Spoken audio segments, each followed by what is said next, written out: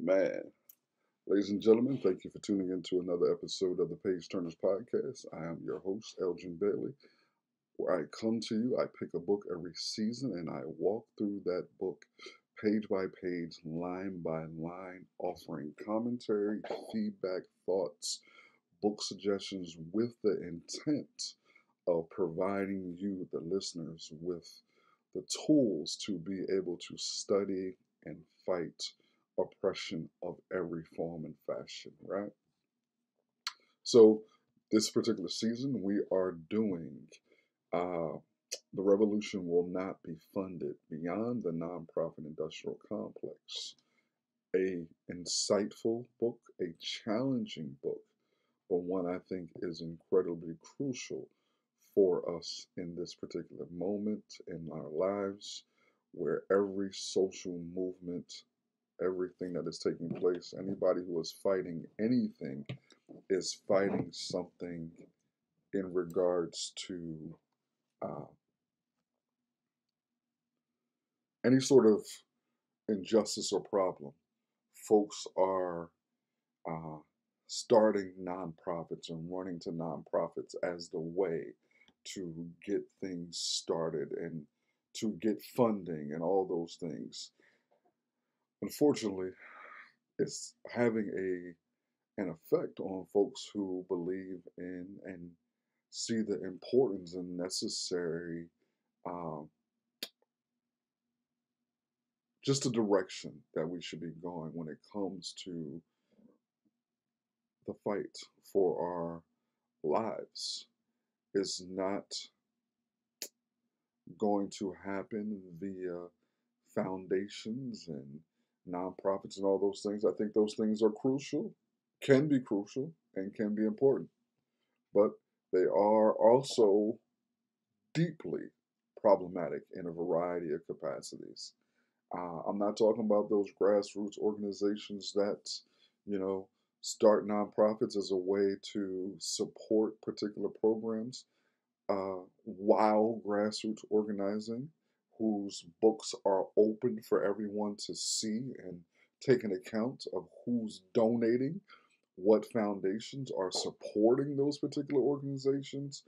Because oftentimes, what you'll see is a lot of foundations are being supported by organizations and foundations that are directly in opposed to what you, the organization, are attempting to do. So, that's where we are, man. And that's enough. I'm going to dig in to what we're building.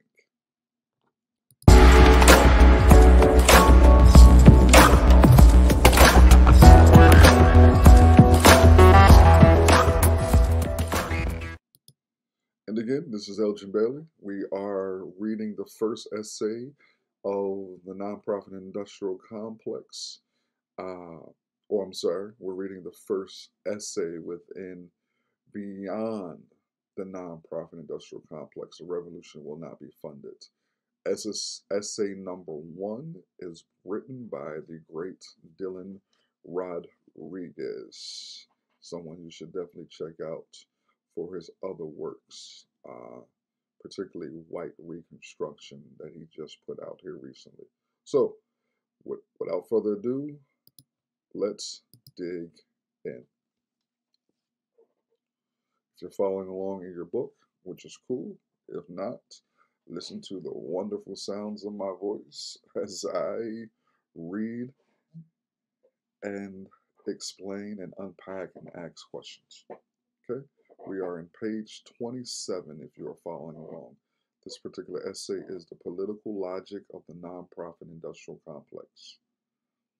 And I read the self narrative of multi billionaire philanthropist George Soros, whom the PBS program now described as the only American citizen with his own foreign policy, brings candor and clarity to the societal mission of one well known liberal philanthropic funder patron. When I had made more money than I needed, I decided to set up a foundation. I reflected on what it was really cared about having lived through both Nazi persecution and communist oppression, I came to the conclusion that what was paramount for me was an open society. So I called the foundation the Open Society Fund, and I defined its objectives as opening up closed societies, making open societies more viable, and promoting a critical mode of thinking. That was in 1979. By now, I have established a network of foundations that extend across more than 25 countries, not including China, where we shut down in 1989. Soros' conception of the open society, fueled by his avowed disdain for laissez faire capitalism, communism, and Nazism, privileges political dissent that works firmly within the constraints of the bourgeoisie liberal democracy. They're imperative to protect and, in Soros' case, to selectively enable with funding dissenting political projects emerges from the presumption that existing social, cultural, political, and economic institutions are in some way perfectible and that such dissenting projects must not deviate from the unnamed values which serve as the ideological glue of civil society. Perhaps most important, the open society is premised on the idea that clashing political projects can and must be brought, forced into a vague state of reconciliation with one another. Instead of there being a dichotomy between open and closed, I see the open society as occupying a middle ground where the rights of the individual are safeguarded, but where there are some shared values that hold society together. I envision the open society as a society open to improvement. We start with the recognition of our own fallibility, which extends not only to our mental constructs, but also to our institution. What is important can be improved by a process of trial and error. The Open Society not only allows this process, but actually encourages it by insisting on freedom of expression and protecting dissent. The Open Society offers a visit, vista of limitless progress. The Open Society merely provides a framework within which different views about social and political issues can be reconciled it does not differ, offer a firm view on societal goals. If it did, it would not be an open society. George Soros. Critically, the formulaic, naive vision of Soros's open society finds its condition of possibility in United Foundation purse strings as dissent flowers into viability on the strength of generous grant or two, the essential conservatism of Soros' manifesto obtains common sense status within the liberal progressive foundation industry by virtue of financial force, as his patronage reigns him. This is crazy. Are you listening to this? Jeez. And then read.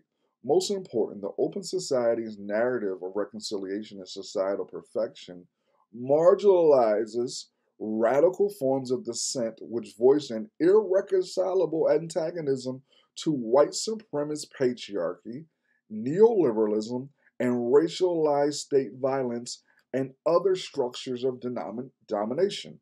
Antonio Gramsci's present reflection on the formulation of hegemonic state as simultaneously as organizational, repressive, and pedagogical apparatus is instructive. The state does not have and request consent, but it also educates this consent by means of the political and syndical association. These, however, are private organisms left to the private in initiative of the ruling class.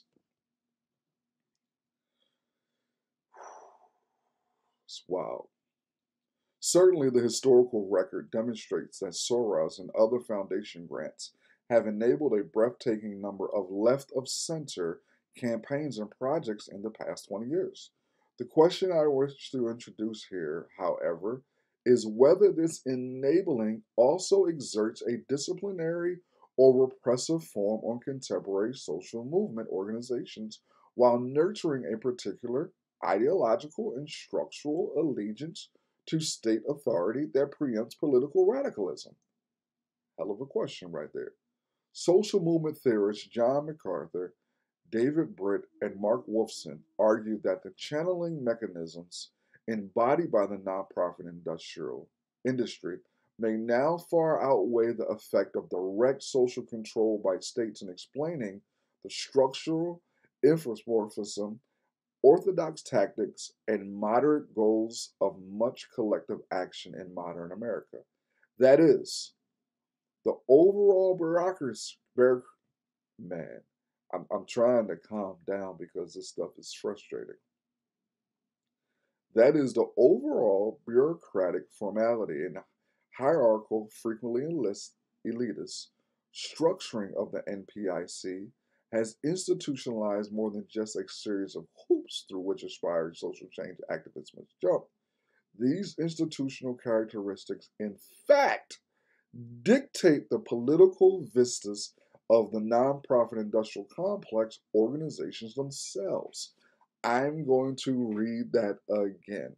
Okay? Very, very important.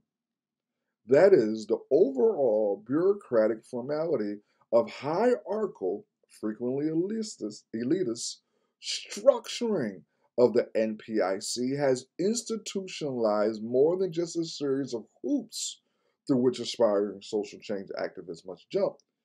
These institutional characteristics, in fact, dictate the political vistas of the NPIC organizations themselves. The form of the U.S. left is inseparable from its political content. The most obvious element of this kindler, gentler, institutionalized repression is its bureaucratic incorporation of social change organizations into a tangle of incentives such as postal privileges, tax exempt status, quick access to philanthropic funding apparatuses, made possible by state bestowal of the not for profit status increasingly. Avowed progressive radical leftists and even some self declared revolutionary groups have found assimilation into this state sanctioned organizational paradigm a practical route to institutionalization.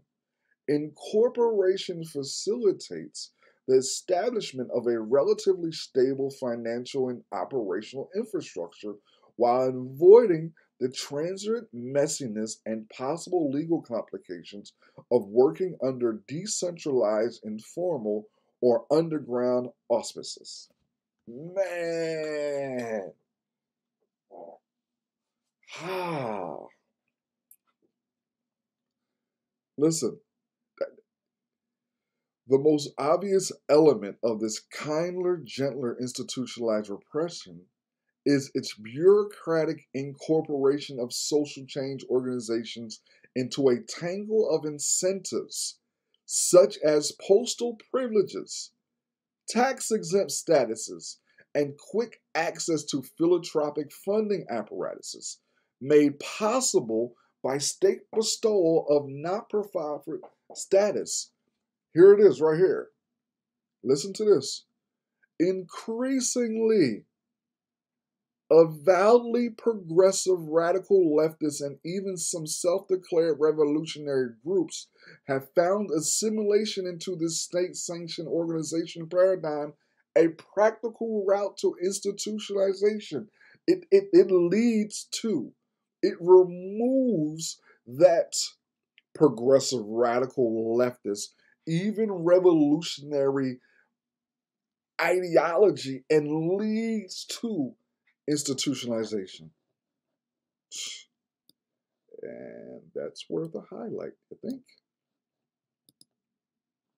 And I read Incorporation facilitates the establishment of a relatively stable financial and operational infrastructure. It provides finances, it provides the operational infrastructure to allow organizations to move. That's the perception. And in many cases, that happens. But in a whole lot of cases, that ain't what the hell takes place. Right? Right? While avoiding the transient messiness and possible legal complications of working under decentralized, informal, or underground auspices. The emergence of this state proctored social movement industry suggests an historical movement away from direct, cruder forms of state repression towards more subtle forms of state social control of social movements.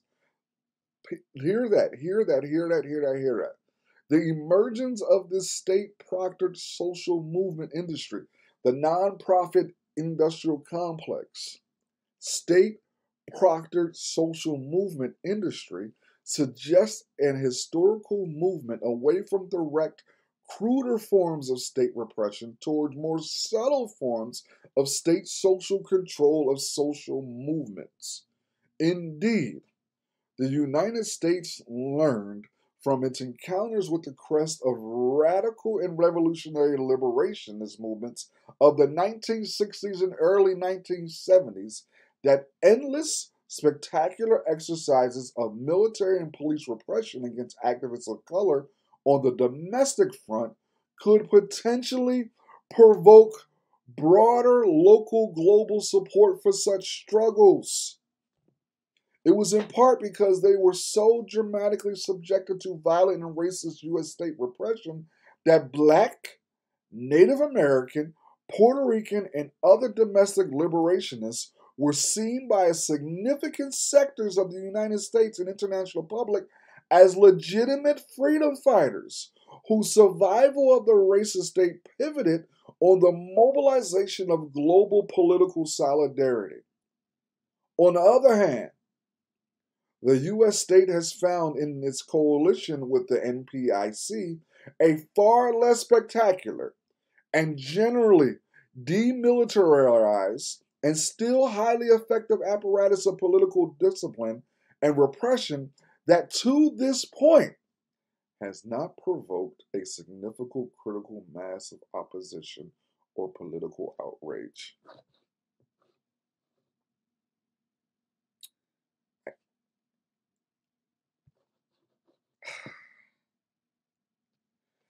And I read, Woo, boy. The Internal Revenue Service, tax laws of individual states, the U.S. Postal Service, and the independent auditors help keep bureaucratic order within and the political lid on what many theorists refer to the post 1960s emergence of the new social movements.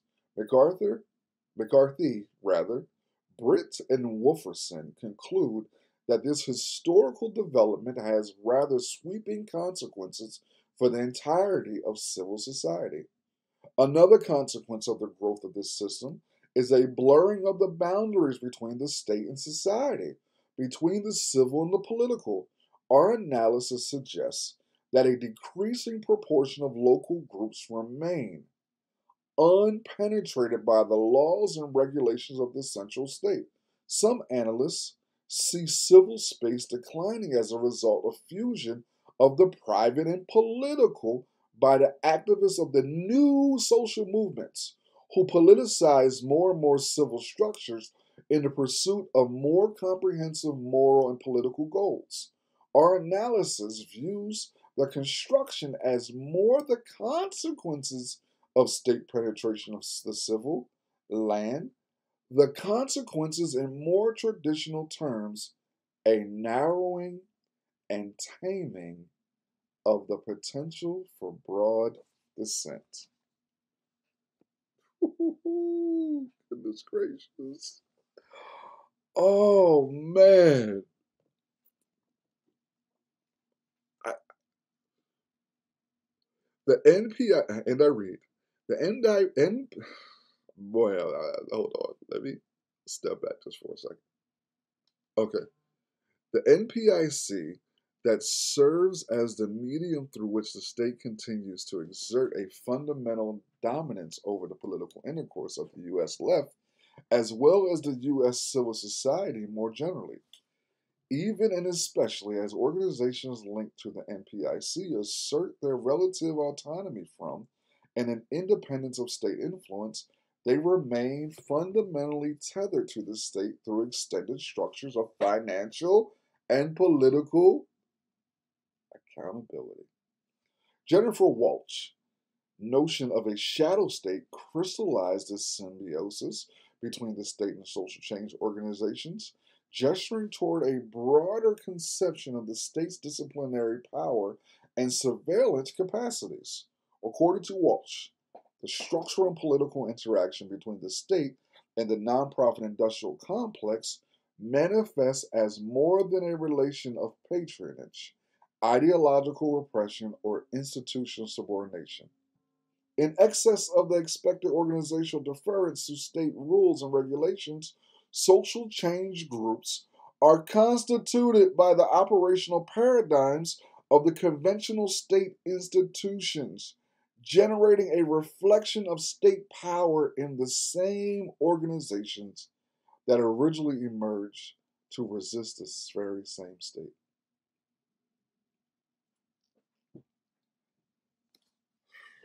In the United States, voluntary groups have gained resources and political clout by becoming a shadow state apparatus, but are increasingly subject to state imposed regulations of their behavior to the extent that the shadow state is emerging in particular places. There are implications for how voluntary organizations operate. The increasing importance of state funding for many voluntary organizations have been accompanied by deepening penetration by the state into voluntary group organizations, management, and goals. We argue that the transformation of the voluntary sector into a shadow state apparatus could ultimately shadow, shackle, rather, not shadow, shackle its potential to create progressive social change. It handcuffs folks. It handcuffs folks.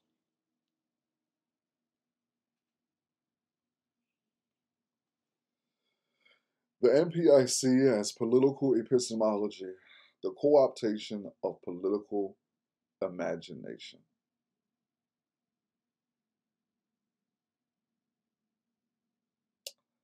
I think this is actually a very good place to stop. I think this is a very good place to stop. I want to stop here as Dylan Rodriguez transitions to another portion of the essay titled The Nonprofit Industrial Complex as a Political Epistemology, the Co-optation of Political Imagination. Thank you guys for tuning in to another episode of the Page Turns Podcast with your host, Elgin Bailey. I really appreciate you guys continuing to support what we're doing big huge shout out to Keystone Digital.tv for all of their help and all that. As my phone